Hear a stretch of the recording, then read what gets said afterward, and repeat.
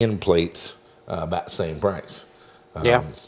So that's the kind of support we got. But I think we're past it. I think we've got a drivetrain back together, and uh, we'll put it in the car and uh, uh, show you the uh, running test. Show the run next, I test. hope. Yep. Yep. All righty.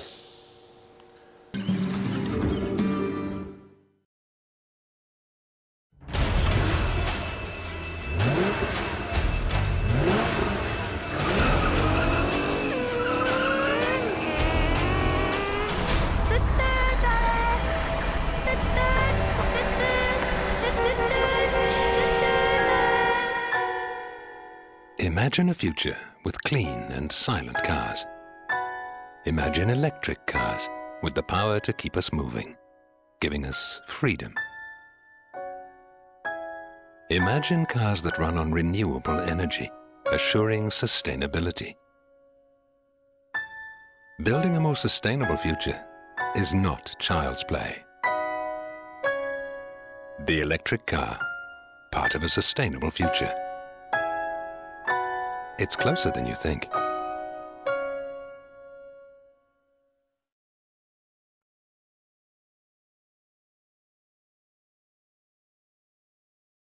Well, Brian, it's been a long road. I think we're uh, we're winning. Well, we got to put back together. It looks pretty good.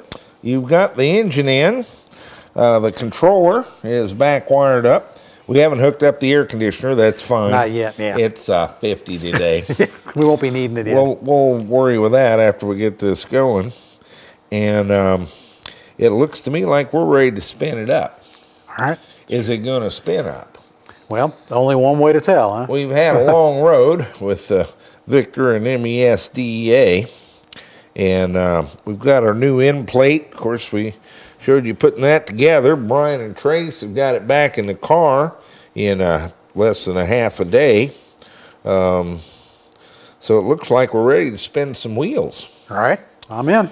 Trace, why don't you put on a little ignition and let's let me hear the contactor click a little.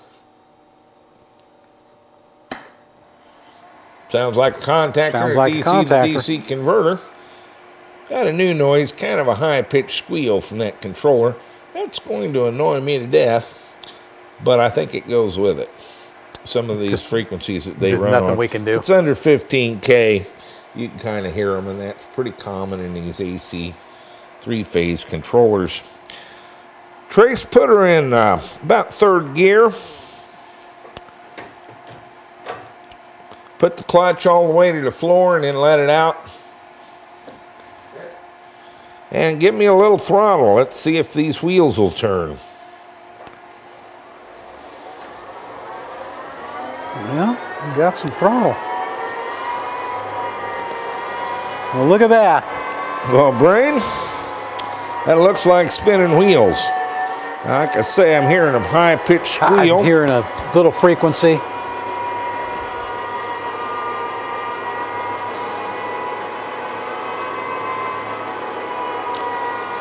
A little vibration here, but I think um, it's more matter of wheel balance at this point. Yeah, we got the anything and we got the transmission. We got it all unloaded. Our tires might not be in balance. It looks like it's running pretty smooth to me. It's it's holding nice nice RPM. It's smooth. this isn't flopping around. Take your uh, foot off the throttle, Trace.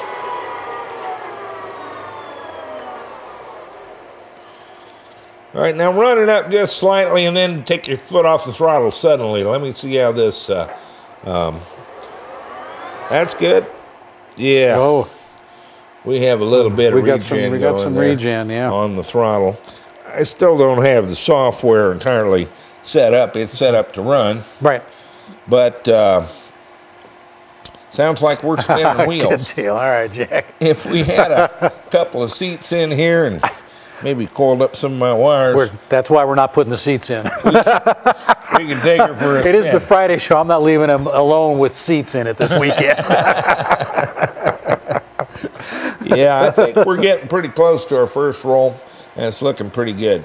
I've got some interesting uh, things we've received. I'm starting to get a lot of stuff from our uh, viewers. Other than uh, death threats? Yeah, the death threats are pretty much fading. Only off. from the industry. some of these, uh, some of these aren't too bad.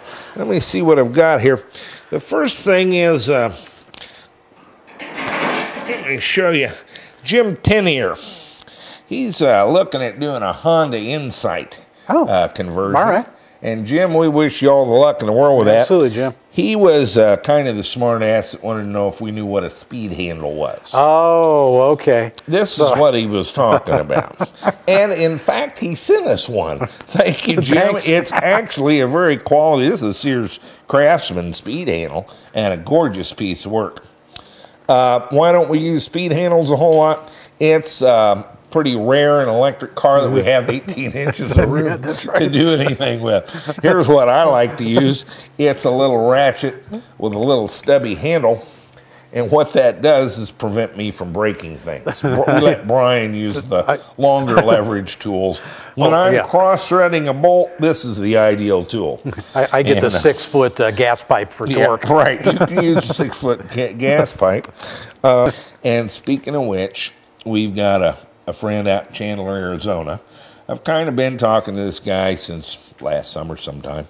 He uh, went out and spent $7,600 on a uh, BMW Z3. Now, this is kind of the same theme I've been talking about. He drove an EV1. His name is uh, Tim Catalier, by the way. He's out in Chandler, Arizona. He drove an EV1. They wouldn't sell him one. No. Uh, went and checked out the RAV4s. They wouldn't sell him one of those.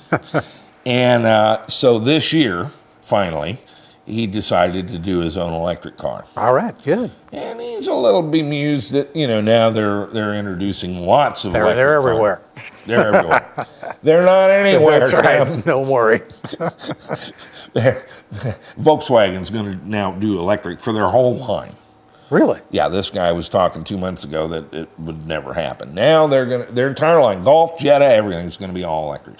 Electric is the thing of the day. And they're trying to do this with economy cars and then yeah. sell them for $50,000. yeah. The i-MiEV, 50000 bucks is where it priced. In here. That's what we're talking about. That's crazy. And uh, so the, uh, the we're, we're what we're going to have is a bloodbath that's actually going to set back the EV community, but it will recover. In the meantime, keep reading those press releases, Tim. You're driving an electric car, and I must say, a very nice one. Oh, Um, Tim, um, I talked him off the ledge of um, lead acid batteries. Uh, Oh, He okay. was going He to jump, go, but huh? I, I, I, it took a lot of negotiation. We got him back inside the skyscraper. Okay, he, good. he didn't jump into the lead acid pool. And today, Tim lead, leads a life that's BMS free, one day at a time. Of one course day at a time. Yeah. as we all do, but he's doing just fine with some Sky Energies. About a 60 mile range, does 70 miles an hour. Um, I uh, been corresponding with him today. I think he needs to do a couple of things with his tranny fluids. Uh, Oh. Maybe take out some of that toe in. He's up over 300 watt hours per mile. I think uh, I think that can be trimmed up. Gorgeous car and a beautiful conversion. Nice. He's used all the, the best components Manzanita, uh, charger, uh, Zilla controller, a NetGain 11 in a uh, BMW Z3. That should smoke the tires. Yeah, I think so. Yeah.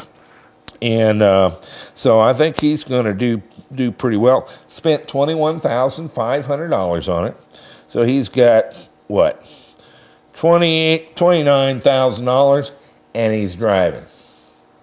That's pretty good. That's respectable. It's not too bad. Yeah. Well, take a look. He's kind of working my side of the street and sent us a little video. We're going to share it with you. Let's hear from Tim Catalier and his BMW Z3.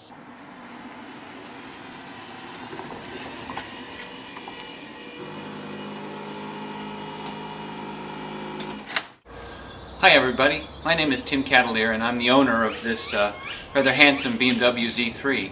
Uh, I bought this car about uh, two years ago with the express intent of converting it to an electric car. And though it seemed uh, strange to a number of people at the time, uh, it seemed uh, a great idea to me.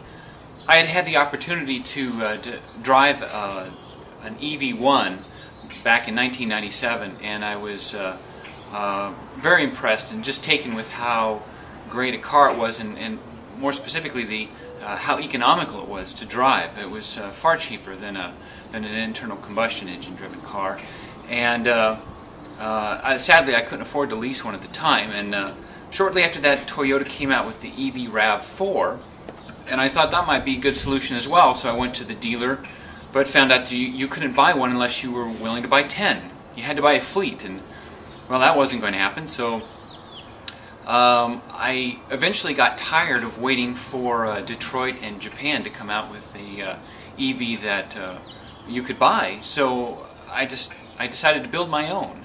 Um, I chose a, a, the Z3 for a number of reasons, but uh, uh, primarily because